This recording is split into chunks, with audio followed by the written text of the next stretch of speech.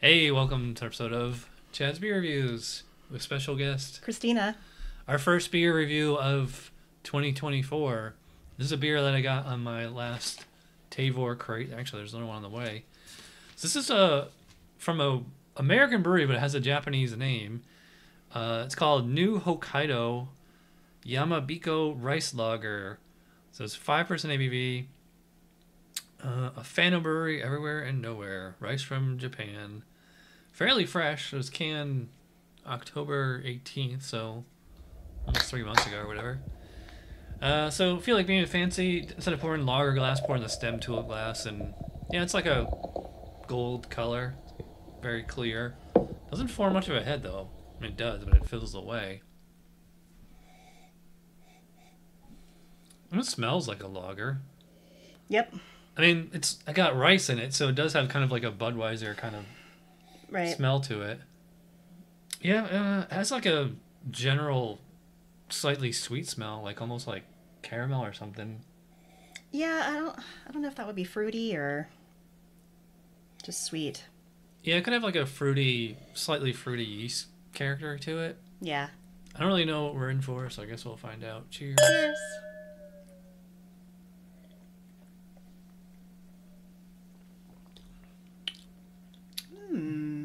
Yeah, tastes like a pretty light lager. This would be a lot better on the porch during the day than inside at night. Yeah. No, I think that's really it's interesting. It does have a slight, I think like I get like a little bit of green grape on here, Yeah. or maybe a green pear. I was thinking kind of like maybe a stone fruit, tan, um, plum or peach. Yeah, I saw they mentioned that in the think it was on the website or whatever. They did say Mm. that you do get like a stone fruit character on here. Yeah. Otherwise, yeah, um, tastes like a rice. But it's yeah, that whatever that fruitiness is is more of like a essence or the impression. It's not you know, it's like it's not like a Belgian beer or something that has like, you know, huge fruitiness on it. yeah, it's not fruity It's as just a rule. Yeah, I would just say it's like a craft lager. It's got like a little bit of a, you know, yeast character to it. Yeah, I will say it's very refreshing. it is. I'm kind of disappointed though, because like, you look at it in the glass now, and it's like it looks like flat. You know, because like when you poured it, it just fizzled away pretty quickly. Yeah, I always thought like. this would be like really effervescent. You know. I thought so too, because when we popped the can, it fizzed really well for a second there, but then just immediately Mm-hmm. went flat. Kind of looks like a wine now. Yeah, it finishes, you know, quite dry. Mm-hmm. Uh, very clean aftertaste. Yeah, I, I, the mouthfeel on it's light. yeah, pretty light. I'd probably yeah, I'd probably say straight up light. Mm-hmm. Um, Light and low carbonation, so yeah, be, probably, yeah, moderately low. It would be easy to, I think, drink a few of these back to back. Yeah. Slightly, slightly crisp.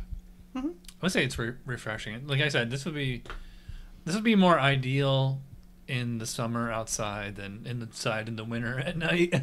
Yeah, I'm surprised they put this out. I guess for the Tavour Christmas crate, but yeah. it would be good in the summer. As a craft lager, it's pretty good. Mm-hmm. Um, it's not really doing a whole lot for me, but as far as score, so it's 2024. We're switching to a one to ten scale. So, like on Tavour, I'd do like three and a half. So like seven out of ten. Actually, I don't know. Even that seems a little high. I might go like six and a half, maybe. I think yeah, like six, six and a half, somewhere around there. Um, I'll do a 3.75. So what is that? Seven and a half? Seven and a half? It's uh, not the most exciting beer, Mhm. but it's good. Yeah, I mean, for what it is. yeah. It was fairly cheap. It was only it was eleven dollars for two full pint cans. That's five fifty each. That's pretty good. Mhm. Um, by the way, it's on Tavour. Link in the description below. Use my code to get ten dollars off, and it lets them know that I sent you. All right. So thanks to Chris for coming over, and we'll see you for the next review. Cheers. Cheers.